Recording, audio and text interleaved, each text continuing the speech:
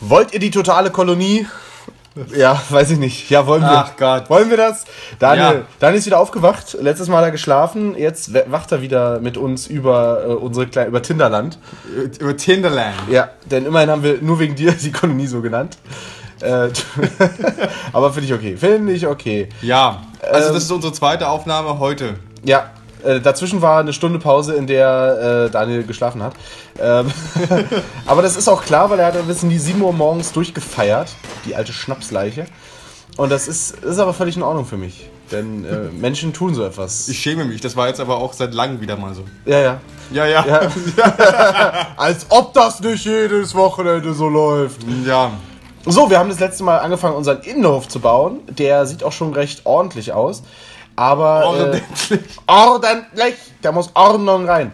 Wir haben auch das letzte Mal schon eine ganze Menge Kartoffeln geerntet. Die müssten nochmal irgendwie ins Haus gebracht werden. Wenn die hier nicht gerade schon wieder Steine durch die Gegend schleppen würden, die Leute. Ähm, kann mal jemand vielleicht. Ach, immer noch Steine tragen, wirklich. Hier mal jemand die Kartoffeln holen. Weil die vergammeln uns da draußen nur. Draußen sind 26 Grad. Drinnen Es wird noch heißer. und es wird noch heißer. Und, äh, Im Kühlraum sind 10 Grad. Das heißt, das ist hier besser auf jeden Fall für Kartoffeln. Aber es sollten eigentlich minus 18 Grad sein. Also irgendwas funktioniert da auch noch nicht so ganz. Nice, egal. Ähm, vielleicht liegt es an der Stromversorgung. Nee, die ist eigentlich ganz gut. Wir sind auch schon fünf Leute. Ne? Das ist eigentlich gar nicht mal schlecht. Also mein höchstes war bisher 8, glaube ich. Ähm, hm. Was machen wir jetzt? Wir machen Was macht man jetzt? Ja. Schach. Schach. Wir können mal einen Schachtisch irgendwo hinstellen. Aus Stahl. Stahlschach. Es, es, es geht auch schon wieder alles schief hier. Das Ähm, passt nirgendwo, weil wir nirgendwo Stühle hinstellen können, ne? Wollen wir können- das nicht direkt in die Heizung packen? nee, nee. Ich würde das hier in den Flur stellen, einfach, Mhm. weil im Flur ist noch Platz. Dann packen wir da noch zwei Stühle daneben. Hier einen. Und nur gucken, dass der richtig rum ist, dass sie da nicht falsch rum drauf sitzen müssen. Ähm, Das macht die Sache deutlich komplizierter. das macht, das ist dann. Ja, wobei bei Star Trek ging es auch bei Next Generation. Hier Commander Riker hat auch immer sich so komisch auf die Stühle gesetzt.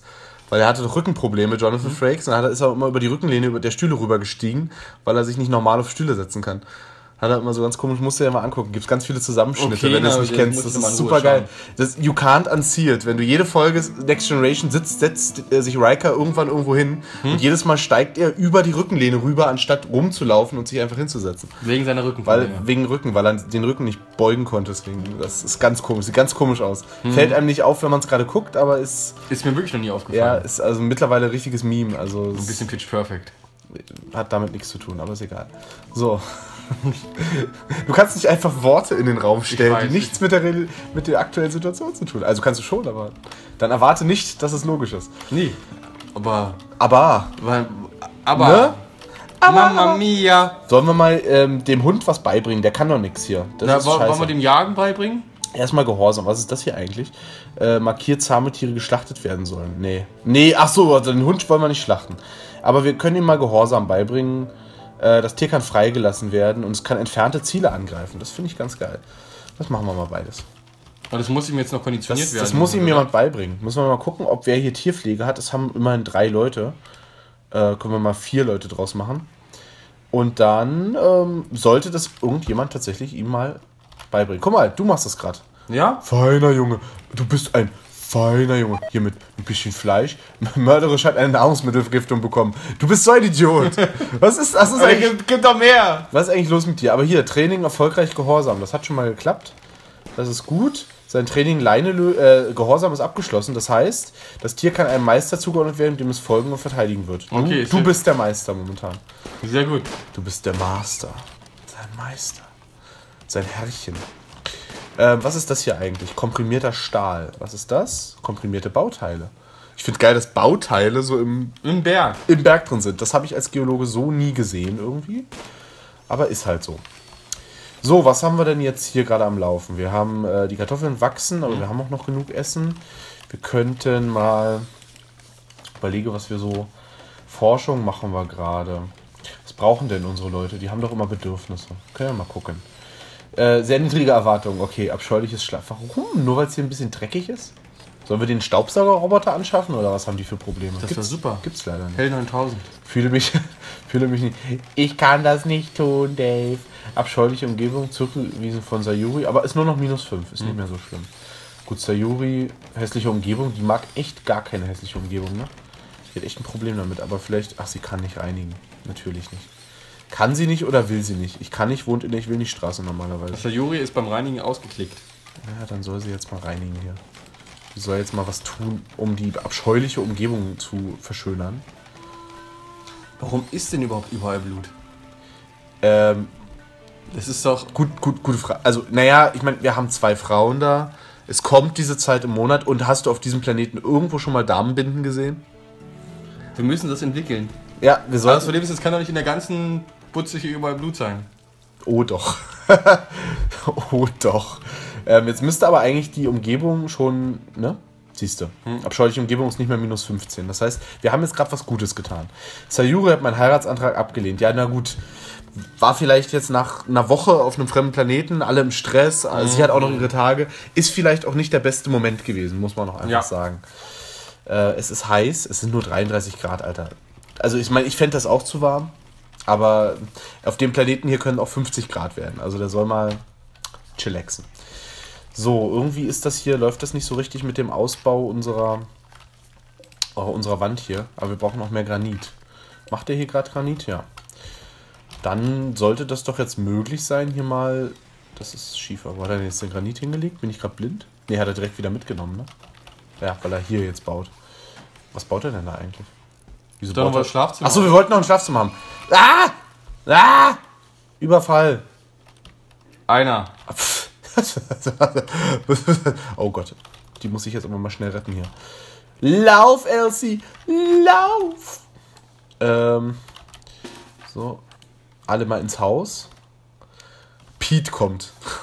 Ich habe keine Angst vor Leuten, die Pete heißen. Ey, Pete hat eine Keule, oder? oder Pete hat, Pete hat eine dicke Keule. Aber ich meine, come on, wir haben Feuerwaffen. Äh, der weiße Mann hat Feuerwaffen. So. Dann können wir Pete doch, wir haben sogar mehrere Feuerwaffen. Wir können ihn ja mal direkt hier empfangen. Mit äh, einem Empfangskomitee. Okay, das Gut, ging Problem schnell. gelöst. Sayuri hat das Problem schnell und effizient gelöst, wie Asiaten nun mal sind. Aber keine Was ist Vorurteile. das da für ein Symbol über dem Kopf? Ähm, wir können gucken. Äh, hungrig, leichte Schmerzen, Leiche gesehen. Had to rebuff Döni. Oh, da ist was nicht richtig übersetzt. Ähm, ich musste Döni zurückweisen. Ich bin auch immer noch traurig. Ist das auch Sayuri? Ja, Sayuri ist halt einfach die krasse Bitch. Um die dreht sich alles. Sie ist ja auch in der Mitte hier oben. Weißt Ja. du, sie ist so die kleine Asiatin, um die sich alles dreht. Also, keine Ahnung. Kommt mir aus der Realität auch ein bisschen bekannt vor. Ja, habe ich nie gesehen, nicht gemerkt. Nee, kenne ich nicht, kenne ich nicht. So, ähm, dann haben wir das. Das Häschen muss noch sterben. Weil wenn sich ein, ein kleines äh, Tier hier in die Nähe verirrt, tut mir leid. Das ist automatisch des Todes. Du liegst im Krankenbett. Zu Recht, denn du musst ja schließlich behandelt werden. Befehle. Wir bauen mal hier noch den Scheiß ab. Das war hier Stahl, ne? Stahl kann man nie genug haben. So, dann kannst du Juri nämlich auch mal was anderes machen als forschen. Ist doch auch mal ganz schön für sie. Ja, Abwechslung. Abwechslung. Was haben wir denn jetzt hier noch? Schieferblöcke. Ich überlege gerade, was wir so an. Ich find, bin immer noch ein bisschen für Marmorboden in der Küche, ehrlich gesagt. ich finde Was? es auch gut. Was? Wieso ist das Zeug verdorben? Ist es hier zu. Wieso haben sie jetzt die Leiche da reingebracht? So war das aber nicht gedacht. Können wir die nicht verarbeiten und schlachten? Ja, ja, sollten wir, weiß ich nicht, ob wir das machen sollten. Weil da begibt man sich auf ganz dünnes Eis. Ähm, Leichen, Menschenleichen, Nord, please. Ähm, wir hatten doch Gräber, ne? Hier im Wald. Dann machen wir doch einfach nochmal äh, zwei mehr. Damit wir nicht die Leiche im Kühlraum haben. Die Leiche im Kühlraum. Na ja, gut, da gehört sie an sich auch hin. Oh, das Häschen schläft da. Ja, bevor es erschossen wird, schläft es nochmal eine Runde. Finde ich gut fürs Häschen. Ich auch. So, aber hier sind echt immer noch eine Menge Tiere um uns rum. Aber wir müssen die gar Vielleicht nicht vermehren die sich ja. Ja, ja, machen sie auf jeden Fall. Aber halt normalerweise langsamer, als man sie tötet. Aber wir haben relativ früh ja schon Landwirtschaft angefangen.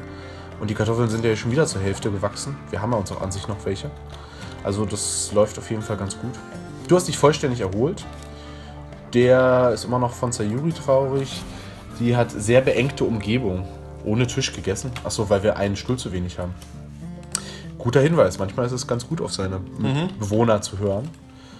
Können wir mal zwei Stühle hinmachen. Ähm, irgendwie benutzt, weiß ich nicht, ob jemand das Schachbrett benutzt. Wäre ja ganz wünschenswert. Immerhin haben wir es extra für die Deppen gebaut. Mann, Mann, Mann. Äh, diverses. Wir können ein orbitales Funkfeuer noch bauen. Aber Wozu ist das gut? ähm, für orbitalen Handel benötigt. Du kannst nur Waren verkaufen, welche sich im Lagerbereich befinden. Also wir müssten sozusagen das Funkfeuer dann sinnvollerweise irgendwie hier hinstellen, damit, nur, damit wir überhaupt Sachen verkaufen können. Aber man kann Funkkontakt herstellen, Werkzeugschrank brauchen wir nicht. Sicherheit, wir können Fallen hinstellen, Sandsäcke. Wir sollten uns mal so eine kleine Verteidigungsanlage hier mit, mit Sandsäcken bauen. Das ist, glaube ich, nicht so doof dass wir sozusagen Deckung haben und die Gegner aber nicht, wenn sie auf uns zurennen. Weil da, wie gesagt, der erste Schuss schon entscheidend sein kann. Oder die ersten, der erste Schlag mit der Keule. Ist jetzt eigentlich hier schon das Training weiter. Äh, Leine lösen. Aber müsste eigentlich, also, eigentlich müsste dann hier eins von zwei stehen, wenn da irgendwie ein Fortschritt passiert ist. Genau. Also, nö. Nehmen wir an noch nicht. Ich nehme auch an, nicht. Wir haben ja schon richtig viel Schiefer. Wir haben relativ viel. Ma ja, komm, wir machen das jetzt. Wir sind jetzt mal dekadent. Scheiß doch drauf. Äh, Metall, Gold, Steril. Achso, hier hinten. So, mal gucken, wie viel brauchen wir da. Ja, ja, ja. Scheiße. Ah, Na, ist egal, wir fangen jetzt trotzdem mal an. Hatten wir eigentlich ausgewiesen, dass auch Marmor gemacht werden soll? Äh, Nee. nee. Leider. Aber das, das sieht doch schon gleich ganz anders aus hier in der Küche. gemütlich. Okay, jetzt wäre mir lieber gewesen, sie hätten erstmal eine Reihe fertig gemacht. Langsam annähert sich das Aber Eichhörnchen. ist jetzt auch egal. What the fuck? What? Also, jetzt brennt's, okay. Kann das jemand löschen? Äh, und es ist ein Blitzsturm. Das ist sehr gefährlich, weil das kann dafür sorgen, dass das Haus angezündet wird. Alter Falter, alter Falter. Sind, das ist echt scheiße. Vor allem, weil das Wetter sieht eigentlich ganz gut aus, ne? Es sieht Ja. jetzt so nach Sonne aus. Aber das. Breitet sich gerade das Feuer überall aus? Ja, natürlich. Das ist leider eine re realistische Physikberechnung. Das Problem ist, dass. Unser Haus brennt. Na, noch nicht, aber hier zumindest am Rande des Hauses. Löscht Können mal unsere bitte. Leute dann auch da am Feuer sterben? Das ist sicherlich möglich, ja. Los, jetzt. Könnt ihr euch mal drauf konzentrieren, das scheiß Feuer zu löschen hier? Wollen sie irgendwie nicht. Naja, ist egal. Macht mal, macht mal, macht mal, was ihr wollt. Also an sich kann uns nicht viel passieren, weil das Haus kann nicht brennen, wenn es außen aus Stein ist. Aber es kann halt alles drumherum abbrennen und das wäre mir ehrlich gesagt lieb, wenn das nicht passiert. Also gerade unsere Heilfrüchte, äh, Früchte, ähm, oh Mhm. Gott, Heilpflanzen. Heilpflanze! Also das mit der Brandbekämpfung, das ist äh, auf Ist jeden Fall... produktiv gerade, habe ich das Gefühl. Ja, das Gefühl habe ich auch. Feuerwehr sind aber alle bis auf Sayuri, also. Ja, jetzt geht hier auch das Ding kaputt. Das ist natürlich richtig scheiße. Ja, ähm, ich weiß nicht, ob du da noch viel machen kannst. Du bist gerade so ein bisschen von den Flammen eingeschlossen. Ja, scheiße. Aber das, das muss wohl in jeder äh, Staffel mal passieren, weil in der ersten Staffel ist das auch richtig schief gegangen. Da ist auch das Haus abgefackelt. Wir mussten das Spiel laden, weil es echt so kaputt war alles. Was ist mit ihm? Er ist irgendwie. Oh, scheiße. der, ist, der ist echt schlecht drauf. Ähm, Also, ihm ist ja ihm ist, und ihm ist ungemütlich. Mhm. Warum ist ihm denn ungemütlich? Das kann ich ja gar nicht verstehen. Scheiße. Daniel, das läuft hier nicht so geil. Nee. Aber ähm, könnte noch schlimmer sein. Es könnten auch schon alle tot sein und noch. Also es, ich habe das Gefühl, es geht in die Richtung, aber Nee, nee, nee, das ist noch alles. Ist alles im grünen Bereich. Wisst ihr was? Wir gehen jetzt mal hier ins Haus. und sitzen die Sache mal einfach aus. Dann müssen wir halt die Heilpflanzen neu anpflanzen, ist jetzt auch egal. Ist jetzt auch wurscht. Und es regnet! Yes! Unsere Heilpflanzen wurden vom Regen gerettet und unsere Kartoffeln auch. Es regnet, Daniel! Ich denke, das ist ein herausragender Moment. Ja, um ein Päuschen zu machen. Richtig. Äh, nächstes Mal sehen wir weiter, wie es hier weitergeht. Bis dann, Leute. Ciao. macht's gut, ciao. Ciao.